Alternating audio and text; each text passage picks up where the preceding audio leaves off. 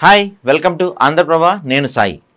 ఈ భూ ప్రపంచంలో ఎక్కడ ఏది జరిగినా జగన్ ప్రభుత్వంపై నిందలేస్తూ అరచి గావు కేకలు పెట్టే బ్యాచ్ ఇప్పుడు సడీ చప్పులు లేకుండా గమ్ము నిండిపోయింది.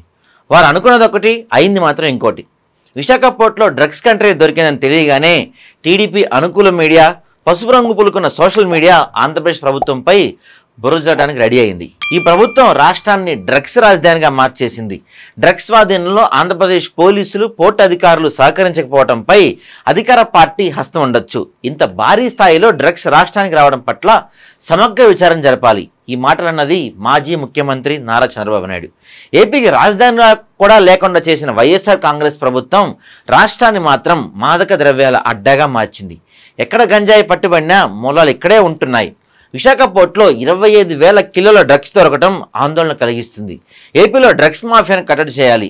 ఈ హితోక్తులు చెప్పింది జనసేన అధినేత పవన్ కళ్యాణ్. ఇన్నేసి మాటలున్న చంద్రబాబు పవన్ కళ్యాణ్ ఇప్పుడు గప్చుప్. ఎందుకంటే ఈ కంటైనర్ తెలుగుదేశం పార్టీ నేతలకు చెందిందని స్మగ్లింగ్ దందా వెనుక ఉన్నది టీడీపీ నేతలేనని విచారణలో తేవడంతో నోళ్ళు కుట్లేసుకున్నారు ఇద్దరు మాదక ద్రవ్యాల స్మగ్లింగ్ వ్యవహారంలో నందమూరి నారా దగ్గుపాటి కుటుంబాల పేర్లు బయటకు వస్తుండటంతో ఇప్పుడేం చేయడమా అని తల్ల పట్టుకుంటున్నారు డ్రగ్స్ స్మగ్లింగ్లో కోటయ్య చౌదరి వీరభద్రరావుకు ఆయా కుటుంబాలకు ఉన్న సంబంధాలు ఇప్పుడిప్పుడే బయటపడుతున్నాయి. మరి ముఖ్యంగా పురంధేశ్వరి కుమారుడు సమీప బంధువు ప్రసాదరావులతో కలిసి సంధ్యా ఆక్వా కంపెనీ ఏర్పాటైందని స్పష్టమైంది.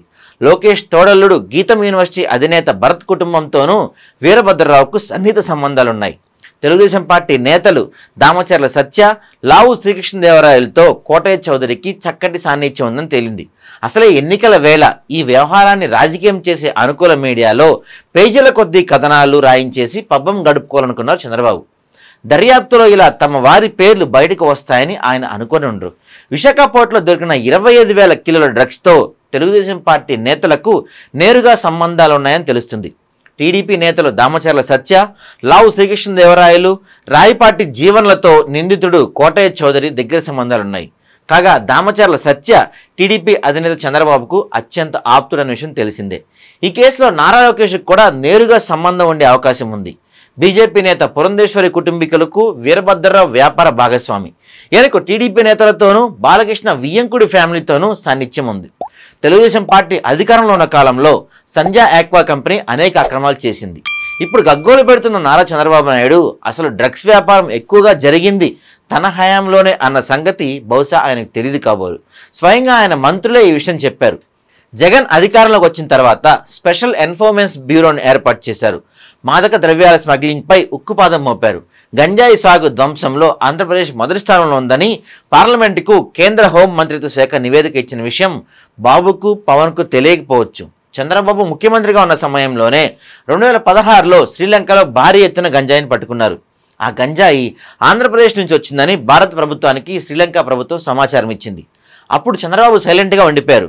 దేశం మొత్తానికి గంజాయి సరఫరా విశాఖపట్నం నుంచే జరుగుతుందని అప్పట్లో టీడీపీ మంత్రి గంటా శ్రీనివాసరావు కామెంట్ చేశారు. అప్పుడు గంటా మాటల్లో నిజం లేదని ఒక్కరంటే ఒక్క టీడీపీ నేత కూడా కౌంటర్ ఇవ్వలేదు. చంద్రబాబు కూడా మౌనంగా ఉన్నారు. మరో మంత్రి చింతకాల అయ్యన్న పాత్రుడు కూడా ఇంచుమించు ఇలాంటి కామెంట్ చేశారు.